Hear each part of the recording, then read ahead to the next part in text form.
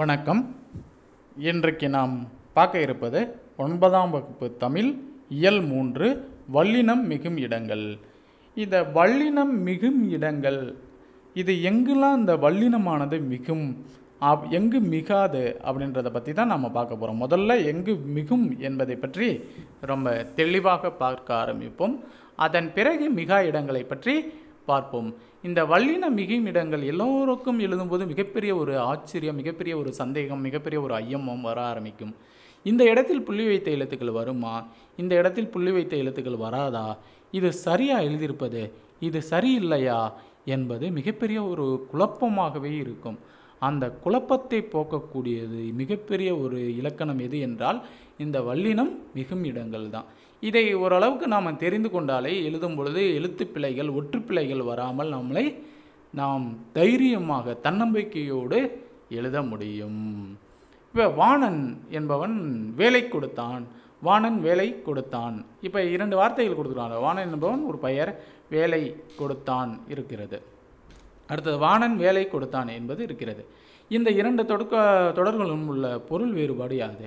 இப்போ முதல்ல வந்து வேலை கொடுத்தான் வேலை கொடுத்தான். வேலை கொடுத்தான் வேலை கொடுத்தான். இப்ப பொருள் புரியுதுங்களா? ஆ இரண்டிற்கும் வந்துங்க வேறுபாடு நிறையாவே இருக்கின்றன. இப்போ வல்லெழுத்துக்கள் அடுத்தது எழுத்துக்கள் தமிழில் இருக்கக்கூடிய உயிரெழுத்துக்கள் மெய்யெழுத்துக்கள் தெரியும். உயிரெழுத்துக்கள் மொத்தம் பன்னிரெண்டு மெய்யெழுத்துக்கள் பதினெட்டு. இந்த மெய்யெழுத்துக்கள் பதினெட்டை ஆறு ஆறாக பிரித்திருப்பார்கள். அதாவது வல்லினம் மெல்லினம் இடையினம். அந்த வல்லினம் மொத்தம் ஆறு இருக்கும். க ச ட த ப ர என்பன ஆறு எழுத்துக்கள். மெல்லினமும் அடுத்தது இடையினமும் வரவே வராது.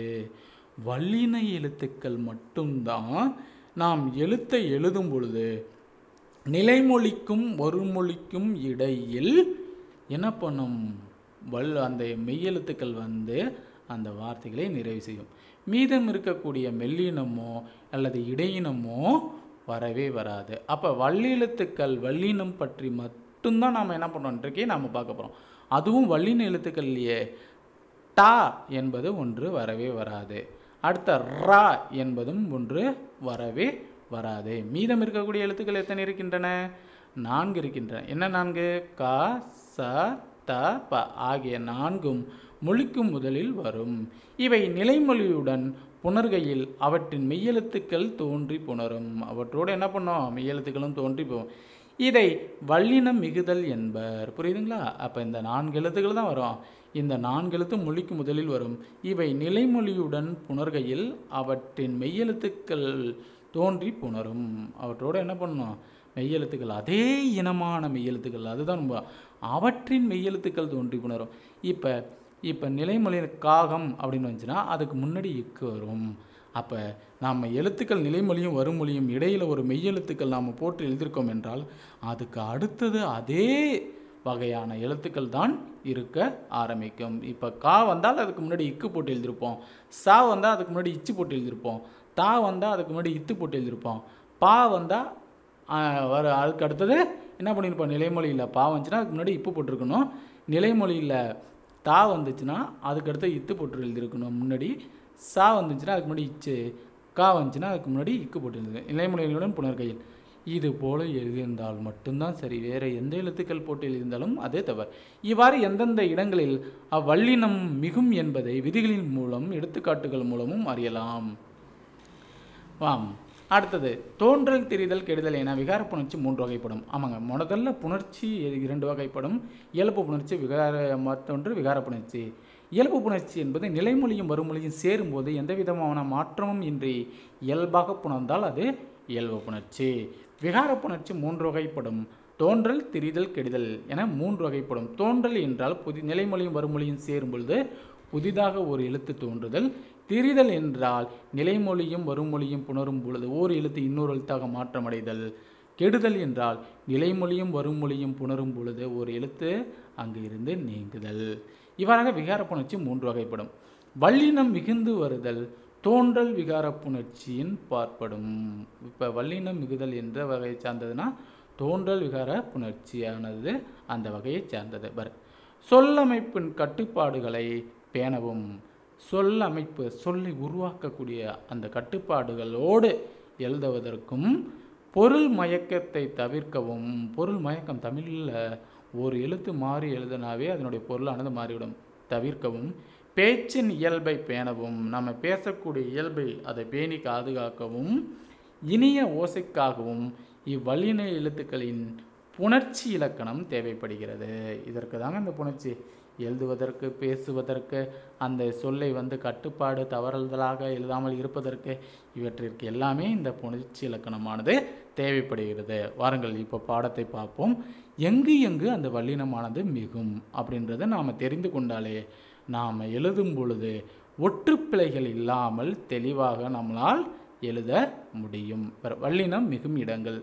தற்கால உரைநடையில் வல்லினம் மிக வேண்டிய இடங்களாக கீழ்காண்பவற்றை கூறலாம். கீழே இருக்கக்கூடியது. எது எது என்றால் இப்போ முதல்ல சில சில ரொம்ப எளிமையாக தான் கொடுத்திருக்கிறார்கள். அதை நாம் நினைவு வைத்து கொண்டாலே நம்ம இந்த ஒற்றுப்பிழைகள் இல்லாமல் வராமல் என்ன பண்ணலாம் நாம்? எழுத ஆரம்பிக்கலாம். ஆ இ என்னும் சுட்டெழுத்துக்களுக்கு பின்னும் ஆ இ இப்போ இந்த விரலை காட்டி சுட்டு சொல்லுவோம். ஆ இ என்னும் சுட்டெழுத்துக்களுக்கு பின்னும் அந்த இந்த என்னும் சுட்டு பெயர்களின் பின்னும் ஏ என்னும் வினாவெழுத்தின் பின்னும் எந்த என்னும் வினா சொல்லின் பின்னும் வல்லினம் மிகும். புரியுதுங்களா? ஆ இ இது சுட்டெழுத்து. அந்த இந்த சுட்டுப்பெயர் ஏ என்பது வினா எழுத்து. எந்த என்பது வினா சொல்லின் பின்னும் என்ன பண்ணும்? வல்லினமானது மிகும். பாருங்க. அச்சட்டை இந்த காலம் எத்திசை எந்த பணம்? இதெல்லாம் இது உங்களுக்கு முதல்ல ஒரு குழு கொடுத்தேன். இப்போ நிலைமொழி வருமொழி ஆ என்பது நிலைமொழி வருமொழி என்பது சட்டை. அப்போ வருமொழியில் முதல் எழுத்து எதுவாக இருக்குது பாருங்கள் சா இருக்குது அப்போ அதற்கு இனமான எழுத்து தான் அங்கே என்ன பண்ணியிருக்கு இச்சானது வந்திருக்கு. அதே போல் தான் இரண்டாவது பார்த்திங்கனாலும் சரி இந்த கூட்டல் காலம் இக் இந்த காலம். கா வந்திருக்கு இங்கே இக்கு வந்திருக்கு. அதே சார்ந்த எழுத்து தான் வந்திருக்கிறது. எத்திசை ஏ கூட்டல் திசை எத்திசை. எந்த கூட்டல் பணம் எந்த பணம்? இருக்குது புரியுங்களா? அடுத்தது. ஐ என்னும் இரண்டாம் வேற்றுமை உருபு வெளிப்படும் தொடர்களில் வல்லினம் மிகவும் வேற்றுமை மொத்தம் எட்டு வகைப்படும். இது உங்களுக்கு எல்லாத்துக்கும் தெரியும். முதலாம் வேற்றுமைக்கும் கடைசி வேற்றுமைக்கும் உருபு கிடையாது. மீதம் இருக்கக்கூடிய வேற்றுமை ஆறு வேற்றுமைக்கும் உருபு உண்டு. அந்த வேற்றுமை இரண்டாவது வேற்றுமை என்ன வேற்றுமை என்றால் ஐ வேற்றுமை. ஐ என்ற எழுத்துக்களுக்கு பின்னாலும் என்ன பண்ணும்? வல்லினமானது மிகும். கதவை திற. தகவல்களை திரட்டு. காட்சியை பார். எல்லாமே வருங்க ஐ வந்திருக்கு. அதை வை தகவல்களை காட்சியை அதுக்கு அடுத்தது வல்லினம் மிகுந்திருக்கிறது. அடுத்தது கு என்பது நான்காம் வேற்றுமை உருவு. இந்த நான்காம் வேற்றுமை உருவுக்கு அடுத்ததும் வல்லினம் மிகும். முதியவருக்கு கொடு. முதியவருக்கு இருக்கா? அதுக்கு அடுத்தது வல்லினம் மிகுந்திருக்கிறது. அடுத்தது மெட்டுக்கு பாட்டு. மெட்டு என்றால் இசை. எல்லோரும் தெரியும். மெட்டுக்கு பாட்டு. அப்போ கூ என்பது வந்திருக்குது அதுக்கு அடுத்தது வல்லினம் மிகுந்தது இருக்குது ஊருக்கு செல் கூ என்பது வந்திருக்கு அடுத்தது இச் என்ப என்ற சொல் வந்திருக்கின்றன.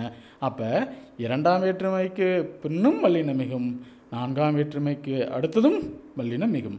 அடுத்தது என ஆக போன்ற சொல்லுறுப்புகளின் பின் வல்லினம் மிகும். என ஆக இது வந்து சொல்லுறுப்புகள் என்று சொல்வார்கள். அந்த வார்த்தைகளை கோர்வையாக அடுக்கி கொண்டு போவதற்கும் எழுதுவதற்கும் இது இந்த உருவுகள் பயன்படும். இதை சொல்லுறுப்புகள் என்று சொல்வார் என ஆக என கேட்டார் வருவதாக கூறு. இப்போ என ஆக இருக்கு பாருங்கள் அதுக்கு அடுத்தது வல்லினமானது மிகுந்திருக்கின்றன. இந்த நான்கு விதிகளை தெரிந்து கொண்டாலே ஓரளவுக்கு நாம் பிழை இல்லாமல் எழுத முடியுமா? பாருங்கள் மேற்கண்டவாறு வல்லினம் மிகும் இடங்களை இனங்கண்டு பயன்படுத்த தொடங்கினாலே தவறுகளை தவிர்த்து விடலாம். மரபையும் பட்டறிவையும் தாண்டி சொற்களை ஒழித்து பார்ப்பதும் ஆமாங்க மரபையும் பட்டறிவையும் தாண்டி சொற்களை ஒழித்து பார்க்க வேண்டுமாம் சொல்லி சொல்லி பார்க்க வேண்டுமாம் வல்லினம் மிகும் மிகா இடங்களை அறிவதற்கு எளிய வழி எனலாம். இன்னும் சில வேலைகளை கொடுத்துருக்கார்கள். மேலும் சில வல்லினம் மிகும் இடங்களை அறிந்து கொள்வோம். மேலும் சில வல்லினம் மிகும் இடங்களை அறிந்து கொள்வோம். இது மட்டும் இல்லாமல் இன்னும் சில கொடுத்துருக்காங்க பாருங்கள் அதற்கு இதற்கு எதற்கு என்னும் சொற்களின் பின் வல்லினம் மிகும். அதற்கு சொன்னேன் இதற்கு கொடு எதற்கு கேட்கிறாய்? புரியுதுங்களா? அதற்கு இதற்கு எதற்கு என்னும் சொற்களின் பின் வல்லினம் மிகும். அடுத்து இனி தனி ஆகிய சொற்களின் பின் வல்லினம் மிகும். இனி தனி இனி காண்போம். தனிச்சிறப்பு அப்போ இனி தனி என்ற சொற்களின் பின்னு வல்லினம் மிகும். மிக என்னும் சொல்லின் பின் வல்லினம் மிகும். மிகப்பெரியவர் மிகச்சிறியவர் சொல்லுவோம் இல்லையா? அடுத்தது மிக என்ற வார்த்தை வந்திருந்தால் அதற்கு பிறகு கண்டிப்பாக வல்லினமானது மிகும். அடுத்தது எண்ணு பெயர்களின் பின் வல்லினம் மிகும். எண்ணு பெயர்கள் என்றால் நம்பர். தெரியும். எட்டு அடுத்தது பத்து. ஆகிய எண்ணு பெயர்களுக்கு பின்னாடி வல்லினமானது மிகுமா? எட்டு தொகை பத்து பாட்டு. எட்டு தொகை இத்து எழுதாமல் அங்கே எழுதக்கூடாது. எட்டு கூட்டல் தொகை எட்டு தொகை. பத்து கூட்டல் பாட்டு சேர்த்து எழுதும்போது பத்து பாட்டு. அப்போ எண்ணு பெயர்கள் என்றால் எட்டு பத்து ஆகிய எண்ணு பெயர்களுக்கு பின் வல்லினமானது மிகும். அடுத்தது ஓரெழுத்து ஒரு மொழிக்கு பின் வல்லினம் மிகும். தமிழில் நிறைய ஓரெழுத்து ஒரு மொழிகள் இருக்கின்றன. தி பு மா ஐ சோ கா என்பன போன்ற எழுத்துக்கள் நிறைய இருக்கின்றன. நாம் சொல்லிக்கொண்டே போகலாம். இந்த ஓரெழுத்து ஒரு மொழிக்கு பின்னும் வல்லினமானது மிகும். தீப்பிடித்தது பூப்பந்தல். புரியுதுங்களா? தீ பிடித்தது பூப்பந்தல். இது ஓரெழுத்து ஒரு மொழி. தீப்பு ஓரெழுத்துக்கு பின்னும் வல்லினமிகும். ஈறுகட்ட எதிர்மறை பெயரச்சன் பின்னும் வல்லினமிகும். இந்த ஈறுகட்ட எதிர்மறை பெயரச்சம் என்றால் அதனுடைய இயல்பை எதிர்மறையாக சொல்லுதல். கூவா குயில். குயில்னாவே கூவதானே செய்ய ஆரம்பிக்கும். அது என்ன? கூவா குயில். அதற்கு தான் ஈறுகட்ட எதிர்மறை பெயரச்சம். ஓடா குதிரை. குதிரை என்றாலே ஓடும். ஓடா என்று எதிர்மறையாக சொல்வதனால் அது ஈறுகட்ட எதிர்மறை பெயரச்சத்தின் பின்னும் வல்லினம் மிகும் கூவா குதிரை ஊடா குதிரை என்ற ஈறுகட்ட எதிர்மறை பயிற்சியின் பின்னும் வல்லினம் மிகும் அடுத்தது. வன்றொடர் குற்றியலுங்கரங்கள் நிலைமொழியாக இருந்து புனர்கையில் வல்லினம் மிகும். வன்றொடர் மென்றொடர் இடைத்தொடர் கேள்விக்கிட்டோம் வன்றொடர் அப்படின்னா இருக்கக்கூடிய கூசூடு தூபுரு ஆகிய எழுத்துக்களுக்கு அடுத்தது வல்லினமானது மிகும். இதான் வன்றொடர். வன்றொடர் அப்படின்னா குசுடு துபுரு ஆகிய எழுத்துக்களுக்கு அடுத்தது வல்லினமானது மிகும். பாரு கேட்டுக்கொண்டான் டூ வந்திருக்கு. விற்று என்னது சென்றான். என்னது விற்று. அப்படியே போயிடுச்சு. கொஞ்சம் கொஞ்சமாக எழுத சேல்ஸ் பண்ணுறான் விற்க ஆரம்பிக்கிறான். விற்று சென்றான். அப்போ டூ வந்திருக்கு ரூ வந்திருக்கு. அதுக்கு அடுத்து வல்லினமானது மிக ஆரம்பிக்கும். அகர இகர ஈற்று வினையெச்சங்களுடன் புணர்கையில் வல்லின மிகும்.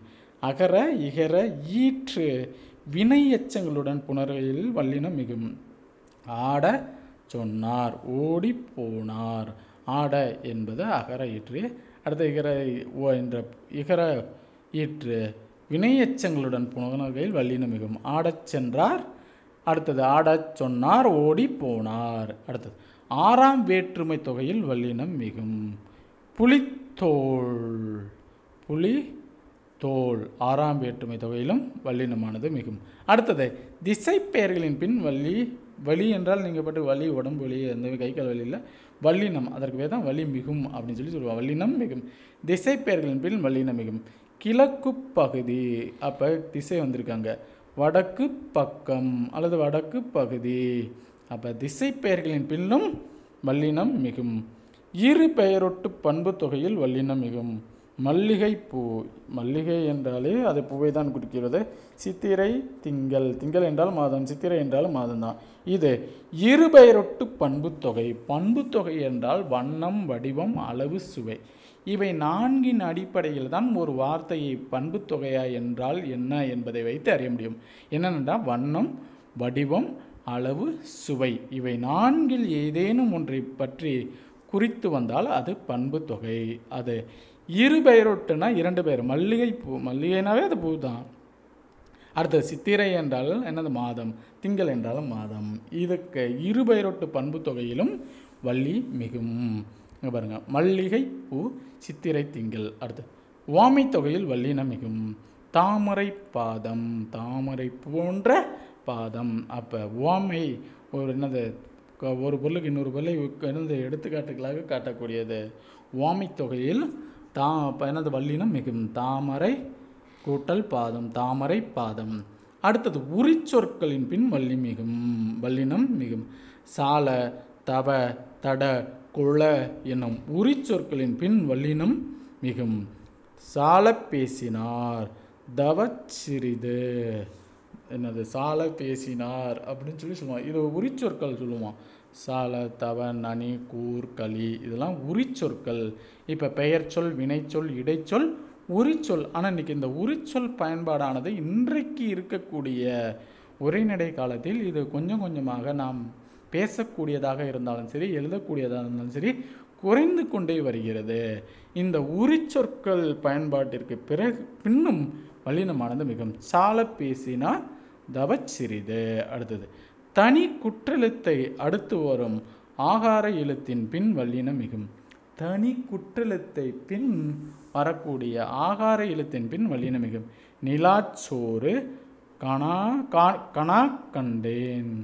கணா என்னடா நைட்டு தூங்கும்போது கணா கண்டியாடா அப்படின்னு சொல்லி சொல்லுவோம்ல அதான். நிலாச்சோறு இங்கே என்ன தனி குற்றெழுத்தை அடுத்து வரும் ஆகார நெடில் எழுத்தின் பின் வல்லினம் மிகும். நிலா ஆ வந்திருக்குங்களா? கணா. இருக்கா? கணா கண்டேன். தனி குறி குற்றலத்திற்கு அடுத்து வரும் ஆகாரம் லா. அப்போ ஆ வந்திருக்கு. நா ஆனது வந்திருக்கின்றன. அடுத்தது சில உருவக சொற்களின் வல்லினம் மிகும். சில உருவக சொற்கள். வாழ்க்கை படகு. வாழ்க்கை வந்து படகோடு உருவகப்படுத்தி பேசுதல். அப்போ வாழ்க்கை படகு. அடுத்தது உலகப்பந்து.